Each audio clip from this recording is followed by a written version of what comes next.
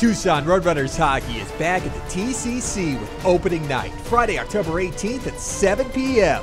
Book your group of 10 or more now and receive four tickets to opening night and two tickets to an Arizona Coyotes game.